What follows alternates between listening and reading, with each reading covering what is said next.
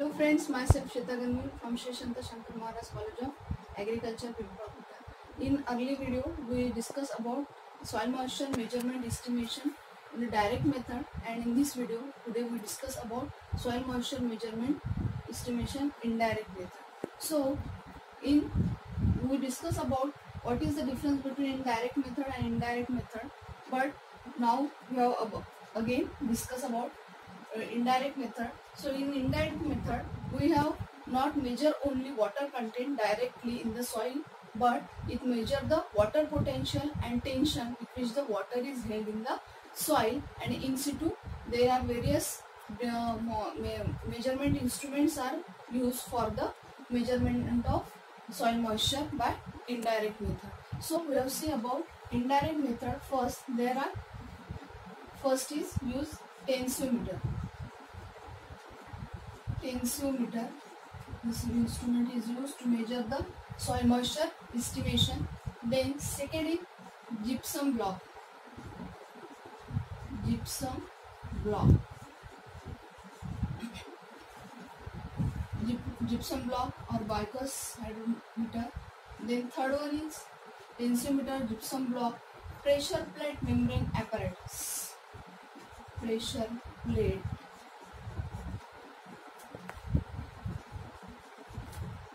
membrane apparatus. Pressure plate membrane apparatus. Fourth one is neutron probe meter neutron probe meter And last one is feel and appearance method feel and appearance appearance method so these are the methods of measure the soil indirect methods of measure the soil moisture in in situ condition. So first we have to see about tensiometer how to work the tensiometer so tensiometer measures the in situ soil moisture. It is measure in situ soil moisture or soil moisture tension means the tenacity or the tension with which water is held by in the soil and the tensiometer what is the structure of tensiometer structure. Tensiometer consists of one is 7.5 centimeter porous tube porous tube then they also contain protective metallic tube. Metallic tube. Protective metallic hollow tube. Then it consists again. Third one is vacuum gauge. Important is vacuum gauge. It consists of vacuum gauge and for cover it consists of rubber cork. rubber cork it consists 7.5 centimeter porous tube metallic tube.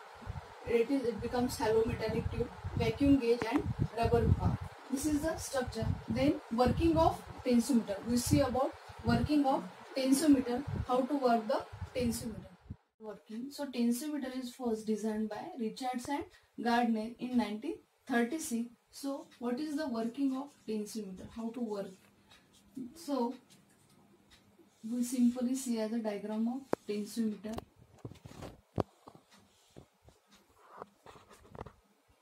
This is 7.5 centimeter porous cup. It is a metallic tube. Metallic metallic protective tube in that that becomes that tube is hold together all the parts. That parts are held by the this tube. Then it is covered for rubber cork.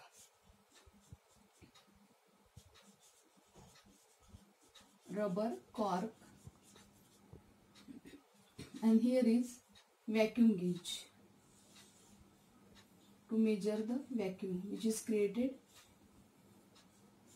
So that is vacuum gauge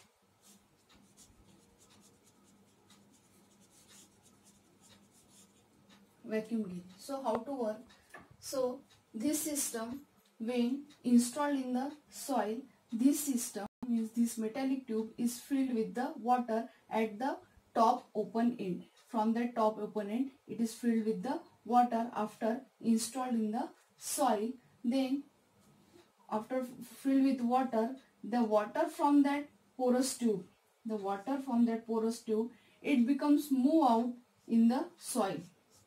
It becomes move out in the soil surface. Therefore, this tube is a porous to move out the water from the soil surface. So, system is filled with the water and the water from that system is moved from this 7.5 centimeter porous cup. The water is moved from the in a dry soil surrounding of the dry soil and after that the amount of water that becomes moved in the dry soil that amount of vacuum gauge is created in the tube. That tube is create the vacuum gauge and that vacuums is measured by that vacuum gauge. This vacuum gauge measured the amount of vacuum which is amount of vacuum which is uh, created in the tube that amount of water which is moving the surrounding of the dry soil that amount of water vacuum which, which is created that is measured by the vacuum gauge that is the hmm. then when vacuum gauge is created then is measured the va vacuum is created that measured by the vacuum gauge and the desired tension is reached when the soil is irrigated. And we have to measure the soil moisture in situ soil moisture by the use of tensiometer but when at the but there, there is a care should be taken at the time of installation. The soil surface there is a contact in between close contact in between the soil surface and that uh, tensiometer porous cup for the giving the accurate reading. So these are some of the merits also this tensiometer so first is merits of the tensiometer is merits merits of tensiometer first merit is it is very simple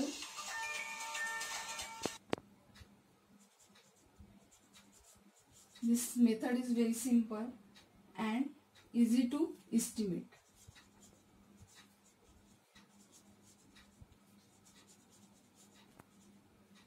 this method is very simple and easy to estimate in situ moisture very simple and easy to estimate in situ moisture. Then second merit is it becomes work satisfactorily under sandy soil. It is work sandy soil. It works satisfactorily under sandy soil. Because in uh, clay soil or uh, clay soil there there is a problem for installation in the soil because the property of clay soil is the swell and shrink. Therefore, it works satisfactorily under sandy soil. Then it is very simple and easy method to estimate in situ soil moisture. And then third one is it is the it requires the it is useful for scheduling of irrigation. This method is useful for scheduling of irrigation. Scheduling of irrigation. These are the merits of uh, tensiometer. It is very simple and easy method to estimate the in situ soil moisture. This works satisfactorily under sandy soil, not in the fine textured soil. And this it is also useful for scheduling of irrigation of the various crop. But some of the limitations of the uh, tensiometer, limitations,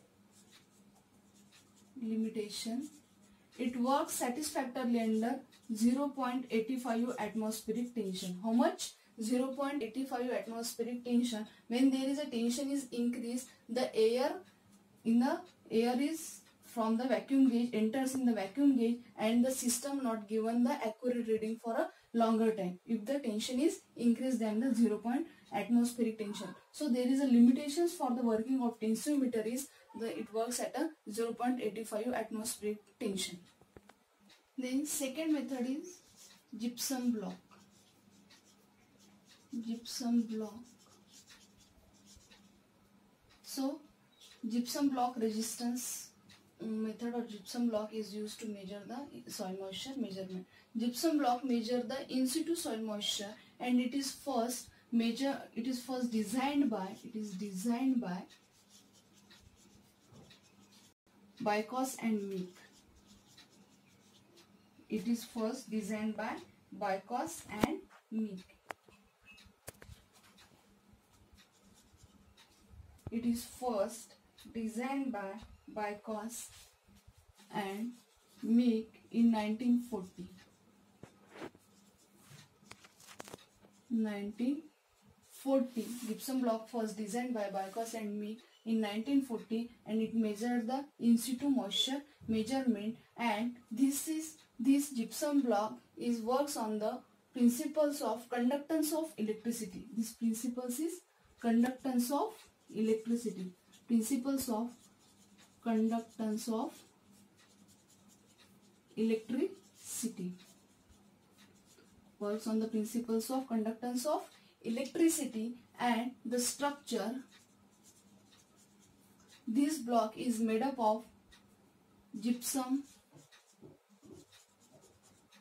gypsum nylon. This block is made up of gypsum nylon fiberglass fiberglass plaster of or plaster of paris plaster of paris or combination of these? Combination of these materials. The structure is made up of gypsum nylon fiberglass or plaster of paris of combination plaster of paris. The combination of these materials made up of the gypsum block and shape of gypsum block is mostly rectangular in shape. It becomes rectangular the shape of gypsum block is rectangular in shape. So and it is work on the principles of conductance of electricity. Gypsum block in working of gypsum block now we see about working of gypsum block how to work it. See the working of gypsum block. In gyps working block when the electrodes are placed in the soil parallel to each other in soil or in medium these electrodes are placed in medium these are the parallel to each other. And after placing this electrode the electricity become past this electrode. Electricity is passed when the electrodes are placed in the medium or in the soil in parallel to each other then electric current or electricity is passed in between the these electrodes. And when the it is passed the uh, electricity the resistance the resistance of flow of electricity resistance to flow it directly proportional to the resistance to flow is directly proportional to the moisture contained in the medium. Means when the block is wet this block is moisture gypsum block is wet this is gypsum block it becomes given the reading of this is electrodes. When this block is inserted in the soil moisture medium, then the current is passed in between the electrodes and the electricity is passed. Then after that the resistance of flow is proportional to the moisture contained in the soil or moisture contained in the medium and that there is a when the block is wet there is a resistance is high conductivity is high and resistance is low when the it becomes flow the conductivity is high. Conductivity is high. And resistance is low. When the block is wet the conductivity is high and resistance is low. The actual resistance the actual reading of block is also depend on the type of electrode then length of electrode and the distance between these two electrode the it, reading of the uh, gypsum block is also depend on the electrode length types and their distance. Then after that there is a it gives the moisture content in the soil and at the field capacity field capacity 400 to 600 ohm. It gives conductance of electricity 400 to 600 ohm and at permanent wilting point there is a 50,000 to 75,000 ohm conductance of electricity. So at the time of installation when care should be taken at like as a tensiometer also uh, installation of gypsum block there is a close in contact with the gypsum block and soil moisture medium to give the accurate reading of by the soil moisture estimation by gypsum block then we have to see about merits of gypsum block. Merits. So first merits is gypsum block is it is easy to handle. It is easy to handle. For handling it is easy. Then second one is it requires or it set about 30 minutes to facilitate the 30 minute to facilitate the capillary movement in between the soil to electrode in between medium to electrode to facilitate 30 minutes to capillary movement of soil and electrode. Then third one is easy to handle. Then third one is the gypsum block function effectively it function it function effectively at 1 to 15 atmospheric tension at more means it becomes work under in a dry soil it works become in a dry soil it function effectively at 1 to 15 atmospheric tension means it works more in a dry soil and there is a three merits of gypsum block. It is easy to handle. It requires or say 30 minutes to capillary movement in between soil and medium. Uh, soil and electrode sorry. Then third one is it function effectively at atmospheric tension of 1 to 15 atmospheric tension means work under satisfactorily under in a dry soil. Then limitations. Limitations of gypsum block so first limitation is it cannot work under a salty soil. It is not work properly under salty soil because salt concentration affect the reading accurate reading of the gypsum block. Then second one is it also fertilization also interfere with fertilization also interfere with the reading of the gypsum block. Then third one is it is limitation the third one is it is not useful not useful it is not useful in more wet and organic soil highly and highly organic soil more wet and highly organic soil it is not work under salt salty soil because salt concentration affect the its reading. Then fertilization also affect its reading. Then it is not useful more wet and highly organic soil. And fourth one is gypsum block reading also affect by the temperature. It affects by the temperature of the soil. So these are the merits and limitations of the gypsum block. Then third method is pressure plate membrane apparatus pressure plate membrane apparatus so in this method first pressure. This method in two method we have see about we have to measure the in situ soil moisture. But in pressure plate membrane apparatus we have to brought the uh, soil from in the laboratory. Means brought the sample in laboratory for measurement of or estimation of soil moisture. This pressure plate membrane apparatus is designed by the Richards. Who is designed it is designed by Richards and the structure this pressure plate membrane apparatus is made up of pressure plate made up of pressure plate ceramic this is plate designed by Richards and it is made up of ceramic pressure plate. Ceramic pressure plate and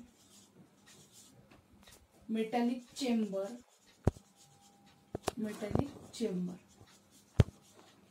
so working of the pressure plate membrane apparatus. How to work it. So this ceramic pressure plate membrane soil sample is taken on the ceramic pressure plate. First, before soil sample taken, take this pressure plate and saturated that ceramic pressure plate. After saturation, the soil sample is placed on the pressure plate. Then after soil sample is uh, placed on the ceramic pressure plate, then again saturated that soil sample and saturated that soil sample and that ceramic pressure plate is kept in airtight metallic chamber. It is kept in airtight metallic chamber and after that there is a placed is kept metallic chamber it is transferred in metallic chamber and this metallic chamber is kept in airtight metallic chamber is kept in airtight closed airtight chamber. Metallic plate uh, kept in closed airtight chamber and applied the pressure by the compressor. This airtight chamber. Apply pressure by compressor. When we apply the pressure by compressor then there is a water from that saturated soil in that plate. The water from that saturated soil in that plate is move out is move out from the water that saturated soil till the equilibrium when there is a pressure applied is achieved. Up to which till equilibrium when the pressure is applied pressure is achieved there is a water is moved out from that saturated soil. And then the soil sample after remove that soil sample from the airtight chamber and the soil sample is taken for determining the soil moisture content on the weight basis and all or the volume basis as we have to see in direct method of gravimetric method. On the volume basis or on the weight basis we have to determine the uh, soil moisture measurement. Then there is a merits of merits of pressure plate membrane apparatus means it is covers the wide range of soil. Cover wide range of soil and there is a limitation one of the limitations of pressure plate membrane apparatus is that is the it requires the large time for equilibrium. It requires large time large time for equilibrium. It requires large time for a equilibrium. This is the working of pressure plate membrane apparatus. Then third method is a fourth one is there is a neutron moisture meter. Neutron moisture meter.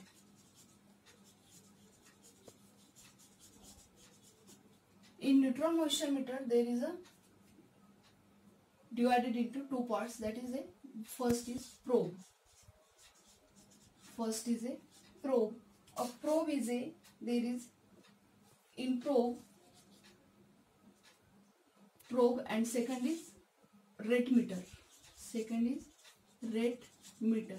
So first we have to see about principle of working principle of neutron probe moisture meter so the in gypsum block you have to see the principle of conductance of electricity. Like as in a neutron moisture meter we have the principles is the amount of it is work on principles of amount of hydrogen atom that are present in the unit volume of soil. Hydrogen atom that are present in unit volume of soil that on the principle that it becomes work. Neutron moisture meter the structure is probe and rate meter it is divided into two parts. In probe there is a two tubes. In probe consists of two tubes that is that tubes are placed vertically in a soil. It is placed vertically in a soil medium and that placed vertical soil medium in that is the first tube is that is it is source of fast neutron and one one of these second is a it is detector of slow neutron. So when the it is placed in vertically in the soil there is a what will be happen when water in the soil when we have to place the test uh, tubes in the soil the source of fast neutron that emitted in the surrounding soil.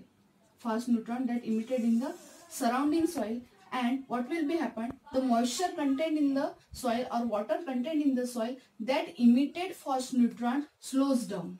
That emitted fast neutron are slows down and that slows down neutrons are detected by counting tube it is detected by the counting tube means it means that when the greater amount of or more amount of moisture it becomes contained in the soil then more amount of slow neutrons can be counted by a counting tube. So this is the working of neutron moisture meter and some of the merits of moisture meter merits and limitation.